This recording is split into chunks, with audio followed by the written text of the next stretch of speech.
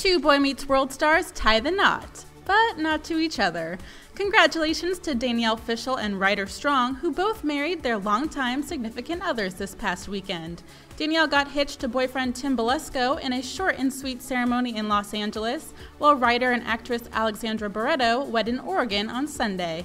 Congratulations to the happy couples, and be sure to stick with us at Celebified for more entertainment buzz.